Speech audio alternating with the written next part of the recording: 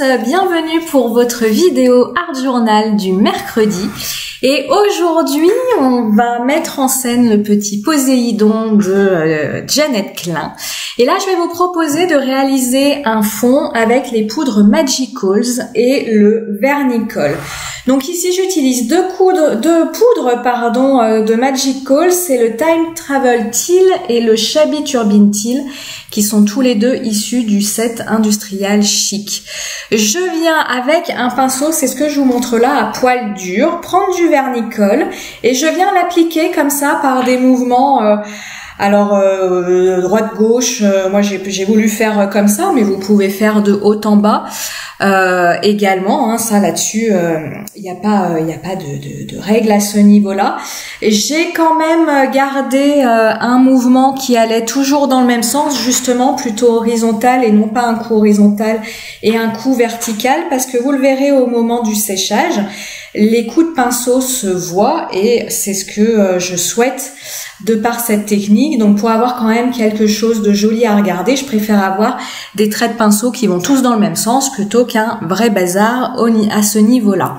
Je viens ensuite appliquer de la pâte de texture. Donc moi c'est de la Liquitex avec ce pochoir vague de chez La Fée du Scrap.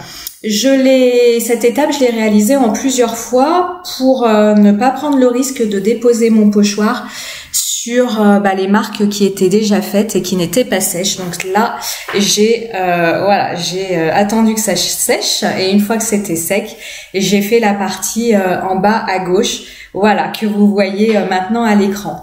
Je viens appliquer une fois que tout est sec, cette euh, glue euh, Stickles qui contient des paillettes et qui contient des étoiles sur mon fond.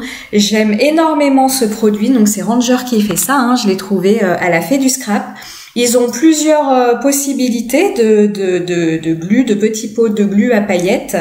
Pareil, utiliser un pinceau à poil dur, ça vous permet comme ça de bien étaler votre colle.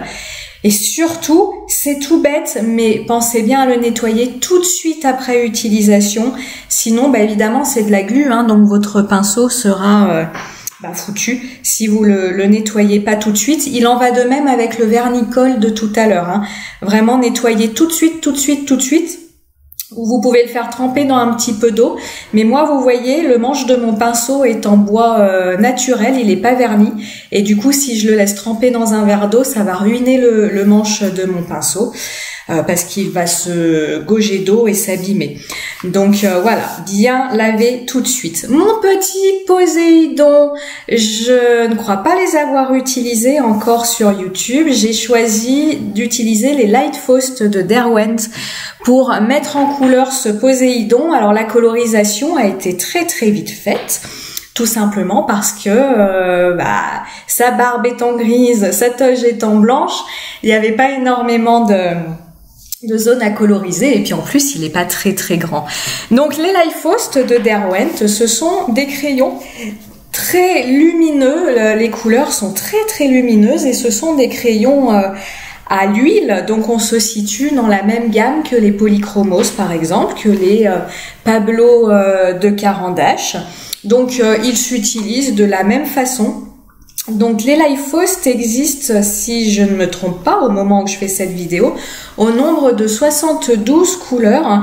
Et euh, ils ont des couleurs euh, très intéressantes. C'est toujours pareil, hein, quand on fait les nuanciers, on, voit que euh, bah, quand on collectionne comme moi un petit peu les couleurs, on a des couleurs différentes des, euh, des parce que moi j'aime beaucoup les Pablo de chez Carandache et euh, bah voilà ça rend euh, ça rend l'affaire intéressante. Ici au niveau des couleurs pour la couleur peau parce que je sais que les combos peau vous intéressent beaucoup, j'ai utilisé la couleur cannelle et la couleur saumon. Donc pour réaliser des dégradés avec des crayons de couleur à la cire, euh, à l'huile, pardon, je n'utilise pas ici la technique du couche sur couche. Alors pour voir de quoi je parle quand je parle de la technique du couche sur couche, je vous laisse aller voir mes vidéos où j'utilise plutôt euh, les luminances ou euh, les prismacolors. Là, je vous explique tout. Mais euh, ici, je vais pas utiliser cette technique. Pourquoi? Parce que les crayons de couleur à l'huile saturent plus vite le papier que les euh, crayons de couleur à la cire. Et du coup, on peut pas se permettre de réaliser beaucoup, beaucoup de couches avec ces crayons-là comparativement aux crayons de couleur à la cire. On peut quand même mettre un petit nombre de couches pour être confort dans ces, dans ces dégradés. Mais comme on peut pas réaliser euh, énormément de couches, on peut moins se permettre les erreurs qu'avec des crayons de couleur à la cire. Mais tout ça, je vous en parle dans d'autres euh, vidéos. La petite barbe de mon Poséidon, j'ai utilisé trois couleurs pour cette barbe. J'utilise la couleur brouillard, granit et blanc. Donc vous voyez, pour mon dégradé ici, je vais déjà appliquer la couleur euh, la plus foncée. Alors on a un petit peu débattu là-dessus euh, lors de ma dernière vidéo. Alors débattu en toute sympathie et gentillesse, hein, échanger, ce serait plus, plus juste comme mot. Il y a ceux qui commencent par le clair pour aller vers le plus foncé, et puis ceux comme moi qui commencent par le plus foncé pour, euh, au niveau de leur dégradé, euh, finir euh, vers le plus clair. Alors moi j'avoue que je fais toujours, je suis une grande routinière, je fais toujours de la même façon. Euh, je vais déjà euh, travailler mes zones les plus foncées pour aller ensuite euh, apporter mes zones de lumière. Notamment ici, la zone de lumière va être apportée bah, par le crayon blanc, le Life, le Life Life Fast, je crois qu'on dit Fast on me l'avait dit, le Life Fast, le Life Fast blanc. Donc vous voyez, hein, je, quand même ces crayons permettent de bien se mélanger ensemble.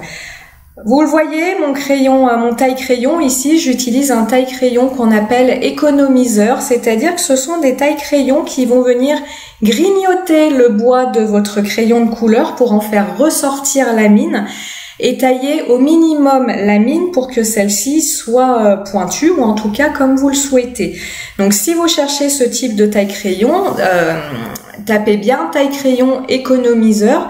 Pourquoi? Parce que les, les autres tailles crayons vont tailler et en même temps le bois de votre crayon et en même temps la mine et vous allez comme ça perdre de la mine, user plus rapidement vos crayons et ce qui est très dommage lorsqu'on est dans des crayons haut de gamme qui coûtent un certain prix, les Light Fast ils, valent assez cher, on est dans les mêmes prix que les, que les luminances de Carandache en tout cas au moment où moi je les, je les avais achetés donc investissez dans un bon taille crayon, ça vous fera bien moins mal au cœur de les tailler et en effet ils vous dureront plus longtemps. Pour sa petite toge, j'ai simplement repassé les traits au verre d'eau. Chez euh, les Life Fast, le verre d'eau, c'est vraiment une couleur euh, très très jolie qui euh, que au niveau de mes nuanciers, je ne retrouve pas dans d'autres gammes. Donc c'est là où je vous dis c'est intéressant parfois entre parenthèses quand on collectionne les couleurs, de pouvoir voir, voilà, quand on découvre une nouvelle gamme, bah, de tomber sur des couleurs comme ça qu'on ne trouve pas ailleurs. La couronne, c'est le moment de l'ajout du doré. Donc pour la couronne, je lui ajoute du doré qui provient de la palette Coliro Color. Sur cette palette, vous avez quatre types de doré qui va du doré le plus jaune à un doré un peu plus rouge, à un doré un petit peu bleu. Alors, un doré un petit peu bleu, il a le nom de doré bleuté. Moi, je vois pas forcément la nuance de bleu. En tout cas, ces quatre dorés sont différents. Et puis, vous avez euh, également un godet euh, euh, argent de, de, nacre. Ce qui est intéressant avec ces peintures-là, c'est que si vous mettez peu d'eau, vous aurez vraiment une texture très opaque. Par contre, si vous leur ajoutez beaucoup d'eau, vous aurez quelque chose de très transparent qui vous permettra comme ça d'ajouter des touche de brillance, de doré à vos productions, voire même de faire un mélange avec vos autres couleurs d'aquarelle pour ajouter euh, du nacre à vos couleurs, euh, à vos couleurs d'aquarelle. J'utilise ici, vous l'avez pas forcément vu, j'ai changé de pinceau. J'utilise deux pinceaux, euh, donc ce sont deux pinceaux Raphaël, c'est la gamme Précision Martre et j'utilise pour la couronne la taille 1 et ici le trident est très très petit. Donc j'utilise la taille qui est dite 2 slash 0. De toute façon, vous avez toutes les références euh, matérielles, les combos couleurs euh, en descriptif de la vidéo ou sinon sur mon blog. Hein. J'en profite ici pour vous parler de mon blog. Sur mon blog, j'essaye de vous mettre un max d'articles qui correspond à chacune de mes petites productions. Euh, et de vous mettre à chaque fois toutes les références produits, dans quel sens je m'y suis prise pour euh, réaliser euh, ces pages. Donc n'hésitez pas aussi à aller faire un petit tour. Mon blog, il a le même nom, tout a le même nom chez moi, c'est Marlène Arts. Les petites étiquettes des titres, pour qu'elles se fondent un peu plus dans mon fond, je leur ai passé un petit coup de distress oxyde.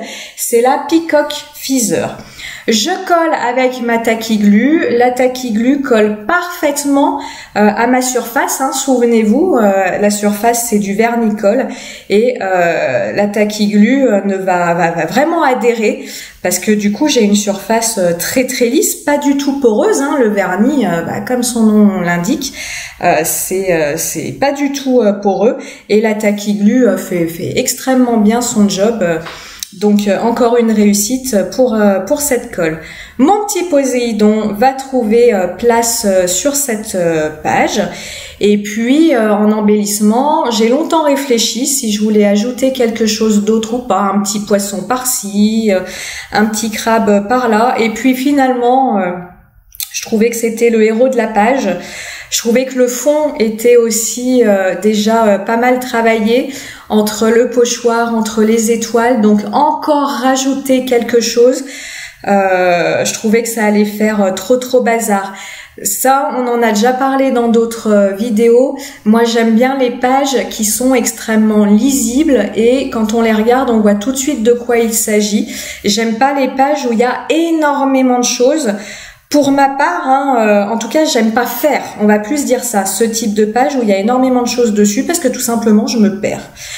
Pour la petite couronne, je voulais un petit peu la différencier, la mettre en relief par rapport au trident. Donc je rajoute, pareil, c'est une glue avec des paillettes exclusivement dorées. C'est la marque Rayer qui fait ça. Les petits pots sont à 3 euros. Pareil, je vous ai mis le lien en descriptif euh, de la vidéo.